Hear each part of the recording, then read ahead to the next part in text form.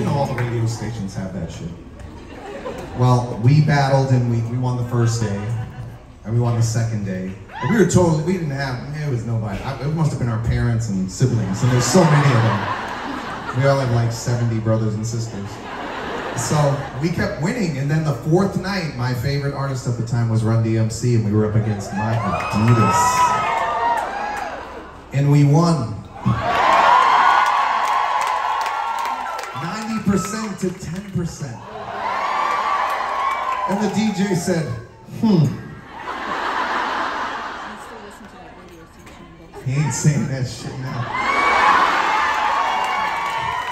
No offense. I was surprised too. I was like, my Adidas better fucking win. Just make it close, God. But we won, and we believed. Just like that moment Joe, just like we all have moments. But there was a little hip hop in, and flavor that burned at us.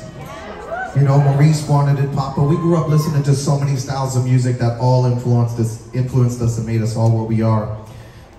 In one of those other carnations, I think we, we delved into that a little more, and we don't delve into it enough for you guys, but when we became NKOTB, this is how it started. I didn't even know. This is how it started. I swear, I don't know what's coming.